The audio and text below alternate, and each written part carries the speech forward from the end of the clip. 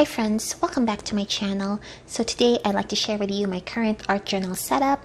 I am using a passport sized insert for my art journal and I am using this cover right now. This is the Fasjosma Field Notes cover and for full disclosure I did receive this cover for free to feature on my channel but everything I say in this video will be my own opinion. So let's just get to it.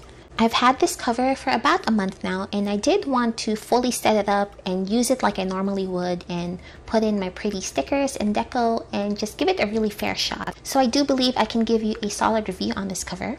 And I have seen videos of this cover before, but no one seems to be sure exactly how to say the name. So I ended up asking the person who emailed me how to say it, and they did give me the proper pronunciation.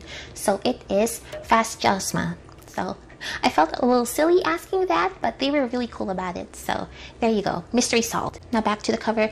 This is their field notes cover. If you take a look at it on their Amazon page, so it doesn't come with this little closure. I made this myself, which I will get to in a minute. But if you take a look at the leather, it's this really soft, I want to say crazy horse leather. It smells really, really good. Anytime I hold this cover, I want to sniff it. It just smells so delicious and it does mark up easily. So you'll see these little scuffs here in the front. That's from me opening and closing this little closure. And you can see there is a bit of sheen to the leather. This leather is so soft and plush. And since I've been using it for a month it's gotten even softer. So I love holding this leather. It just feels so good. So let's go ahead and open it up. Again I made this little button closure myself. So all I did was I took a wooden button and then I attached an elastic cord and I just weaved it through and made a magic knot on the end here. There you go. So it's not the most well-made closure but it works for me. So the way I do it is I just wrap it around like this. And that works for me. So the knot is hidden behind the button. And then I open it like this. I just pull on this here. And there you go so again, lots of scuff marks on the front from my button closure here, but that's okay, that doesn't bother me. And then I have a Moterm magnetic clip here on the front. One thing I do want to note is if you're to use a different type of leather to go with the Fasjosma leather, there will be some color transfer. So the inside of my Moterm clip did have these little dark spots on it. So there you can see, this is the lychee pink clip and I don't really mind it because you don't see it when you put it on your cover, but just keep that in mind if you are going to be putting any sort of letter item on this or maybe something that's light colored, it is prone to color transfer. And then opening up my art journal, I had a lot of fun setting this up because it's different from my usual passport setup. Usually I use a traveler's notebook with the strings in the middle, but since I didn't have that, I did have to think a little bit creatively on how to make this fun and artful for me. So what I ended up doing is I took a Foxy Fix dashboard and I just slipped it over my insert here and that gave me the chance to be a little bit more decorative on this cover. So here on the left side, you do get two card slot pockets and since I'm not using this as a wallet, I just filled it with some stickers that I really like. I'm going for a fun pink floral theme with this cover. I just felt like that would go really well with the dark brown color here. These two floral stickers are from Amazon. The girl sticker is from AliExpress. I will link them down below if I can still find them. And then here on the side, you have a really long pen loop, and this to me was different from all of my other usual covers. So you can't really fit a lot of pens in this. I've noticed in other videos I watched that that is also a bit of a sticking point. I did find that the Uni Jetstream F-Series pen, that fits perfectly in this pen loop. So as you see, it slips in really nicely in there. So that could be an option for you if you want to use this cover. When you close it up, it does bump up against the notebook here. If you fill the card pockets with things, that might not be as much of an issue. Let me put my Moterm clip in here. The Moterm clip does help the bulk a little bit, but you still get this pretty big bump on the cover. So if that's an issue for you, I suggest maybe just leaving this pen loop empty or using a really thin pen. So the placement of the pen loop does seem a little weird to me. I'm used to having it on the side of the cover here. So if I were to change something in this cover, I would definitely move the pen loop here and just have that standard little pen loop on the side. I did see on their Amazon page that they do have a Field Notes cover with a pen loop on the outside here and it also comes with a clasp. So I really like that cover. I might give that a try one of these days and I would probably just buy it with my own money. But if you are looking for a Field Notes cover with a clasp and pen loop, I think that would be a really good option for you. Alright, so back to my art journal setup. Again, this is a Foxy Fix dashboard that I just filled with my deco. This is a piece of scrapbook paper here as a background. And then I added some vinyl stickers, a butterfly and a flower, and then a stamp. And I actually washi taped these into the scrapbook paper because I was having some commitment issues. So let me see if I can show you. If you look really closely, there's that little gap there it's because it's not actually pasted into the paper, it's just washi taped in. So that's my little tip for you if you're struggling with committing to a setup, just washi tape things in and you can always take them out later on. So opening up the dashboard, I have another piece of scrapbook paper here on the inside and then some more vinyl stickers. And I made this little journaling card myself. So this is a Sterling ink freebie when you place an order with her you get this little square freebie here and then I added a happy planner sticker on top and then I just laminated the whole thing so that's how I did it and then here is my art journal.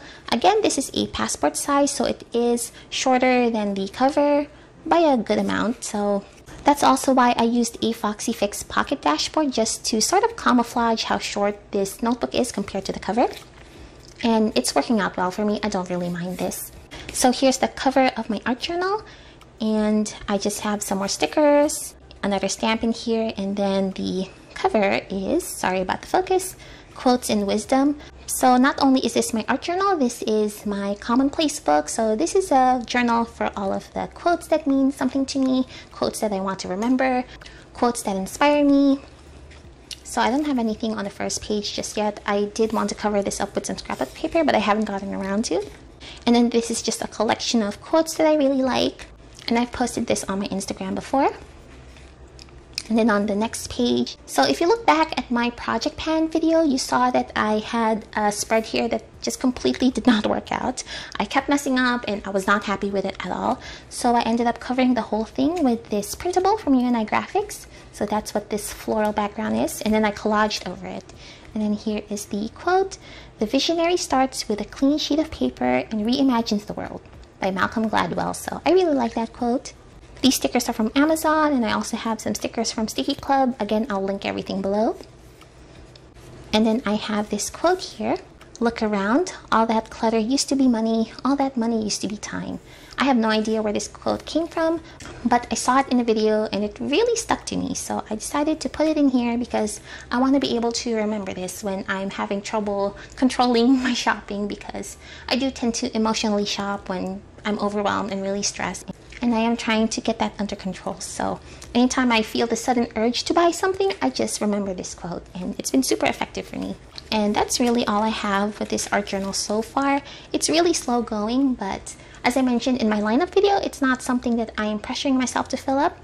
I want this to be a fun process for me and not a stressful process. And if I pressure myself to finish it quickly, then it's definitely going to be something that I dread and I don't want that for this journal. So this journal will be filled whenever it's filled. But so far so good. I'm really happy with the spreads that I made so far. I do still need to fix up this mistake here, so I'll get to that eventually. But I'm really happy with this cover. This just makes me so happy to see. I love it. And in the back, I don't have anything. I just have a blank cover here. I will put some stickers in here later on.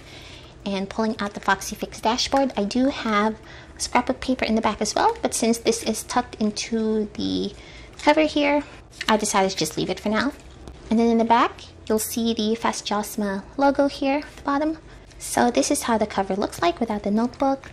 I did pull out some other notebooks here just to show you how it fits. I have here a proper field note size notebook. So here it is next to my passport insert. So as you see, it is taller. And this one fits perfectly. There you go. So let's add the Foxy Fix dashboard as well. There you go.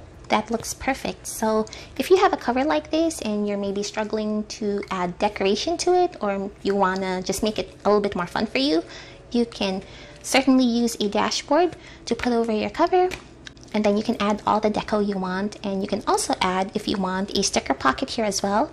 Like those travelers company sticker pockets those would look really good on this side so you can also put it in the front so those are just my suggestions and then let's go ahead and add this pen just so we can get an idea of what this looks overall so there you go that's how it would look with a field note size notebook got that little bump there and then I also have some Moleskine notebooks here that we can use. So I have a soft cover Moleskine here and a hardcover Moleskine. And if you didn't know, the hardcover Moleskine is actually slightly larger than the soft cover. So it's a little bit wider and a little bit taller. Just because of this hardcover, I think. But the soft cover Moleskine is the exact same size as the field notes. Here, let me show you. There you go. So I think a soft cover Moleskine would be a really good candidate for this cover as well. And I'm just going to go ahead and slip it in. There you go. There's also a slip pocket here, so you can add this cover into this slip here, but I'll just leave it out. And again, with the pen, here's the soft cover Moleskine with the pen. Again, it gets in the way of the notebook. I think another improvement they can do is maybe make the pen loop sit in the center here so it doesn't bump into the notebook. I don't know, what do you guys think? But that's what you can expect with the soft cover Moleskine. And then the hard cover, since this is slightly bigger than the soft cover, I'm not sure if it'll fit this cover. I think it might if you just stretch out the leather. I have done that in the past with a different cover, but it was not something that I was comfortable doing. So yeah, I think if you were to just really force this in, it will go all the way in, but it is very difficult to do so. That's something to keep in mind. I think the best notebooks you can put in this is either a proper field notes insert or a soft cover Moleskine. So let me take out the clip and my deco and we can take a proper look at the cover here Here's the cover without all of the extra deco and as you see it is very soft. It's gotten so soft since I've been using it and again it's got this really lovely sheen and you can see all of the scuff marks that I've been putting onto it. I wonder if I can rub these out. Let me see. It looks like it's slowly disappearing. I'm not sure. but I don't mind these cuff marks at all. With this kind of letter, I think it adds to the character of the cover. And you can see there's some pull up in the middle too from the center of me just using it normally. Let me go ahead and put back all of my stuff in here. One thing I forgot to mention is this pocket here on top. It's really deep into the cover. So as you see, here's my finger. So I have this really tall scallop deco that I like to put into all of my card pockets and it goes all the way in there. There you go. And then I have this little scallop deco, although I ended up covering it up with my stickers. Was that how it was before? I can't remember. Anyways, that's good enough for me. So I don't use a pen in the pen loop here. Typically, I like keeping a pen with my covers, but since this is my art journal and I don't have a dedicated pen to it, I don't mind leaving this empty. And then my button closure. There you go. Let me just adjust it a little bit. Alright, so there we go. That is the final form of my setup. So overall, would I recommend this cover? Yes, I would if you like soft, pliable leather. If you don't mind having the pen loop right here, or maybe if you don't even need a pen at all, you just need a simple cover for your field notes or your Moleskine, yes, I would recommend this cover. However, if you want something maybe a bit easier to get into and a little bit more functional, I would consider the other cover they have with the clasp and the pen loop placed on the outside here.